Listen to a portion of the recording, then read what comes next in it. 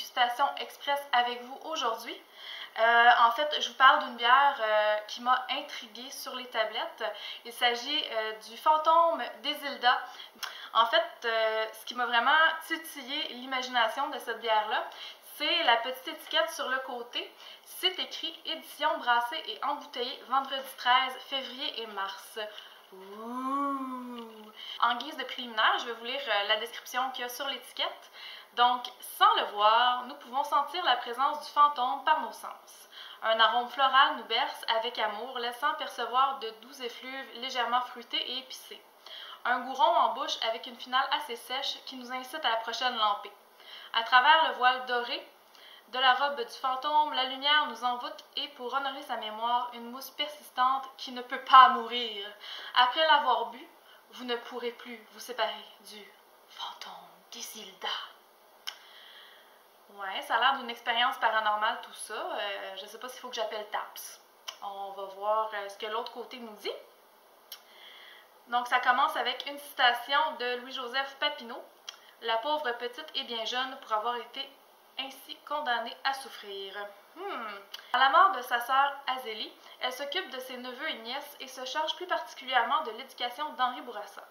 En 1871, au décès de son père Louis-Joseph, elle est l'une des héritières de la seigneurie de la Petite Nation.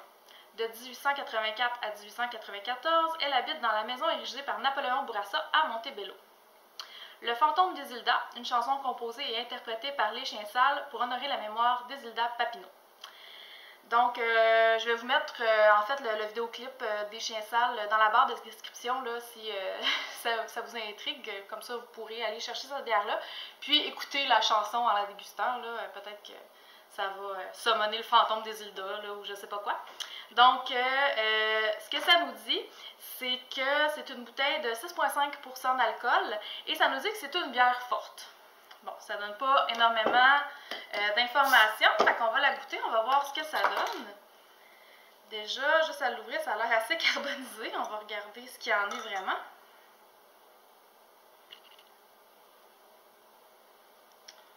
Ok, ok, ok. Orangé, ambré, oups, un mousse qui ne veut pas mourir, hein? Donc je l'ai peut-être versé trop vite, mais on a effectivement un immense collet de mousse qui ne semble pas vouloir mourir. Euh, au niveau des arômes, euh, je vous dirais que ça m'a l'air assez amer comme bière. Euh, oui, il y a un petit côté floral. En même temps, au nez, c'est quand même très doublonné. J'ai l'impression que ça va être quand même pas pire amer, cette petite île-là. Euh, on va voir ce que ça donne.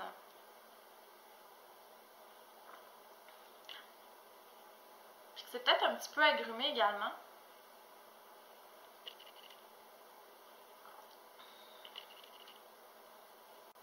Au niveau des goûts, ce qui est particulier, c'est qu'au départ, c'est vraiment sucré, c'est euh, fruité.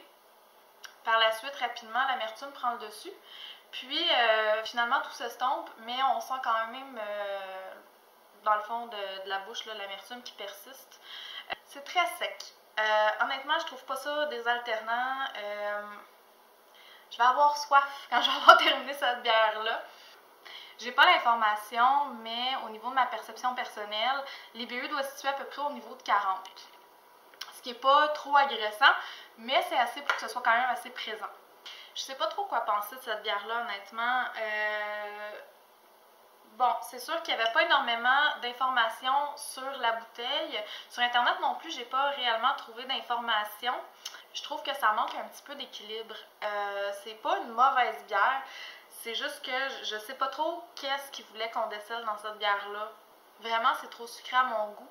L'amertume des houblons vient pas du tout balancer euh, le sucre qui est présent dans cette bière-là. Euh, j'ai l'impression que si vous en buvez deux, trois, vous allez être diabétique. Là, euh, puis je veux dire, je suis quand même habituée aux bières qui sont sucrées. Si vous, vous l'avez goûté puis vous avez des opinions différentes, laissez-nous-les en commentaire. Je serais bien curieuse de voir votre opinion là-dessus. Est-ce que je la rachèterais? Non. Euh, je vais essayer la prochaine fois de ne pas me laisser avoir par le mysticisme d'une bière. Fait que je vous souhaite une excellente fin de journée, puis on se revoit bientôt dans une autre dégustation.